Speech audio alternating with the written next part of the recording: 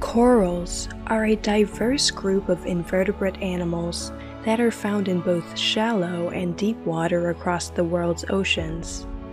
Their appearance may be deceiving, but they are not plants.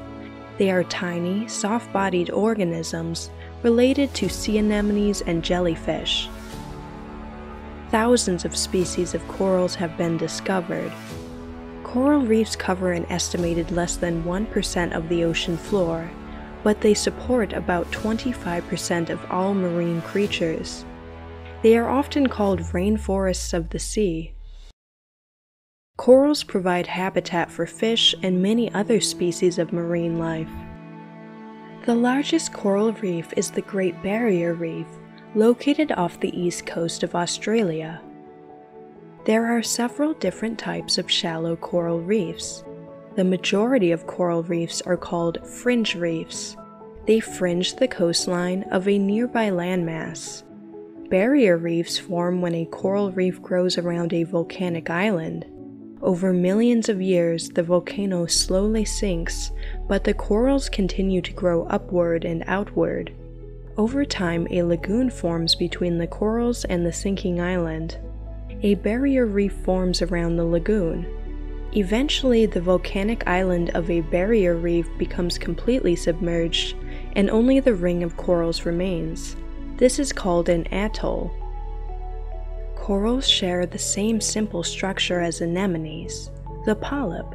The polyp contains digestive and reproductive tissues. The polyp has an open end with a mouth surrounded by a ring of tentacles. The tentacles have stinging cells called nematocysts.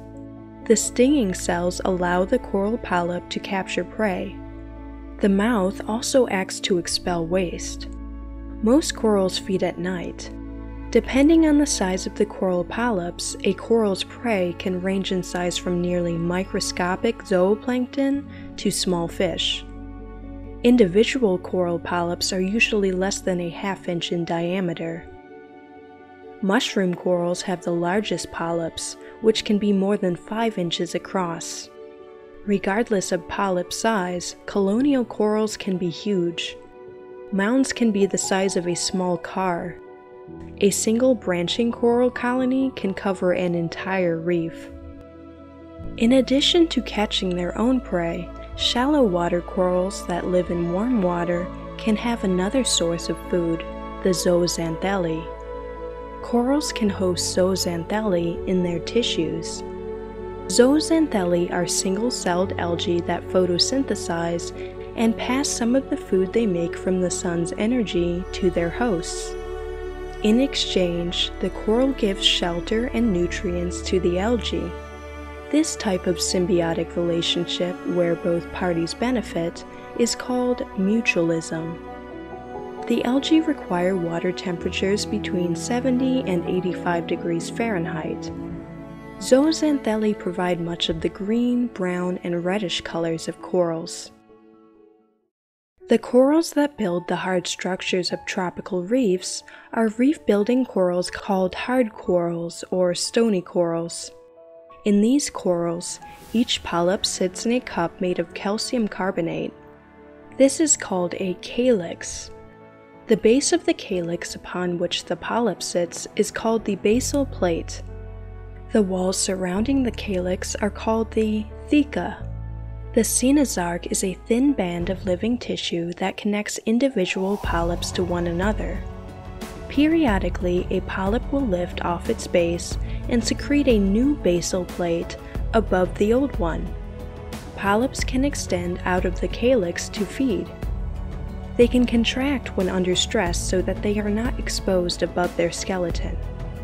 This protects the polyp from predators and the elements.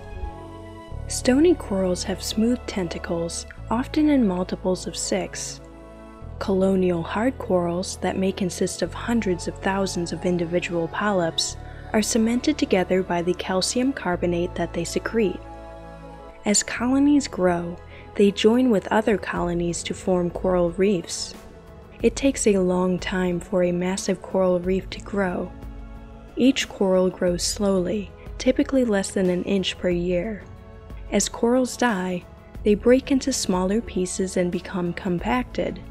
Just as trees do, each coral lays down annual rings, so that the age of the colony can be identified. Individual coral colonies often live from decades to centuries. Some deep sea colonies have lived for thousands of years. Reef building corals exhibit a wide range of shapes. There are branching corals that branch out like trees. Digitate corals look like fingers. Table corals form flat structures. Encrusting corals grow as a thin layer against a substrate. Massive corals are ball shaped or boulder like. Mushroom corals resemble the tops of mushrooms. On the other hand, soft corals do not produce a hard calcium carbonate skeleton and do not form hard reefs. They may use more flexible materials or tiny stiff rods to build their skeletons. Soft corals are also colonial, colonies often look like trees, bushes, and fans. Both stony corals and soft corals can be found in the cold, dark, deep sea, but they do not need sunlight or warm water to survive. Deep water corals can be found at depths down to 20,000 feet. Coral reefs have to deal with many threats. Some fish, worms, snails, and sea stars prey on adult corals. Population explosions of predators like the crown of thorns sea star can be devastating to a reef. Corals also have to worry about competitors. They use the same nematocysts that catch their food to sting other encroaching corals that are getting too close. Seaweeds are also dangerous competitors. They typically grow much faster than corals and may contain chemicals that injure the coral. Some coral colonies have animals like crabs and shrimp that live within their branches and defend their home against coral predators with their pincers. They gain shelter while the coral gains protection. Corals may be male or female or both. They have multiple reproductive strategies. They can reproduce either asexually or sexually. Asexual reproduction helps to increase the size of the colony and sexual reproduction starts new colonies and increases genetic diversity. Asexual reproduction involves the production of clones. This can occur through either budding or fragmentation. Budding is when a coral polyp divides, producing a genetically identical new polyp. Corals reproduce by budding throughout their lifetime, if a part of a colony breaks off and forms a new colony, this is called fragmentation. Fragmentation can occur as a result of a disturbance like a storm or being hit by fishing equipment. In sexual reproduction, eggs are fertilized by sperm that are usually from another coral colony. Depending on the species, corals may use internal or external fertilization for sexual reproduction. Fertilized eggs develop into free-swimming larvae. Larvae float in the ocean for days or weeks before attaching to the substrate and growing into a new coral colony. Most stony corals are broadcast spawners and fertilization is external. Colonies release large numbers of eggs and sperm, called gametes, that are often glued into bundles, one bundle per polyp the gametes rise slowly to the ocean's surface. Spawning often only occurs once a year on cues from the lunar cycle and water temperature. In some places, spawning is synchronized for all individuals of the same species in an area. This type of mass spawning usually occurs at night. The synchrony makes it more likely for fertilization to occur. On the other hand, some corals brood their eggs in the body of the polyp and release sperm into the water. As the sperm sink, polyps containing eggs take them in and fertilization occurs internally. Brooders will often reproduce several times a year on a lunar cycle. Human pressures place a large toll on coral reefs and threaten their survival since coral reefs are often thriving with an abundance of fish, overfishing can affect the entire reef ecosystem. Fish play important roles on coral reefs, such as eating the seaweeds that would otherwise smother corals. Fish also eat the predators of corals. Rising water temperatures can cause corals to lose their symbiotic algae. This results in coral bleaching, where coral tissues lose all their color and turn near transparent. Coral bleaching can make them more susceptible to other threats and lead to coral death by starvation or disease if conditions don't improve. Ocean acidification affects coral health by making less calcium carbonate available in ocean waters, making it harder for corals to form their skeletons. If acidification gets severe enough, it could even break apart the existing skeletons that already provide the structure for reefs. Boats and anchors can harm reefs by breaking or scarring them. Chemicals in certain sunscreens can also harm reefs. Runoff from lawns, sewage, cities, and farms feed algae that can overwhelm reefs.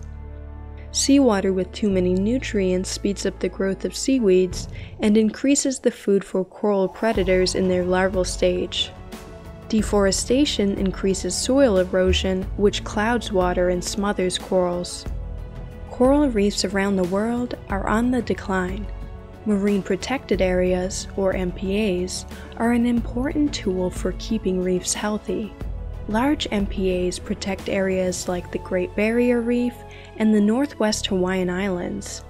Well protected reefs typically have much healthier coral populations and are more resilient to storms. In the long run, the future of coral reefs will depend on efforts of reducing carbon dioxide in the atmosphere that is caused by the burning of fossil fuels. Carbon dioxide is both warming the ocean, causing coral bleaching, and changing the chemistry of the ocean through ocean acidification. Along with providing for marine organisms, coral reefs provide opportunities for recreation, education, scientific research, and public inspiration. The fish we catch for food rely on corals to build the reef structure, where they can breed and grow. Coral reefs support tourism and fishing industries worth billions of dollars. They protect coasts from waves and storms. Many current medicines that combat things like cancer, pain, and inflammation have also been derived from coral reef organisms. For more marine facts, click the subscribe button.